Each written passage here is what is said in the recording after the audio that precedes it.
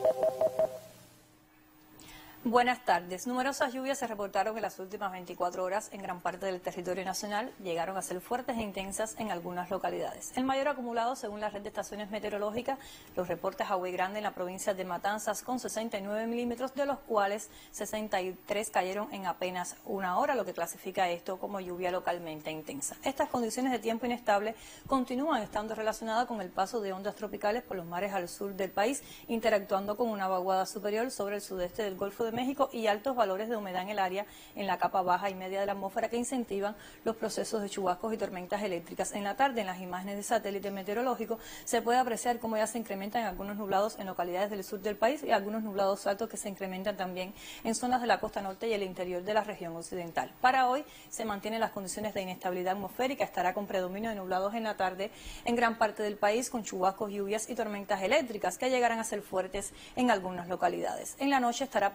nublado y todavía en las primeras horas de la noche nublado en localidades del sur con algunos chubascos y lluvias.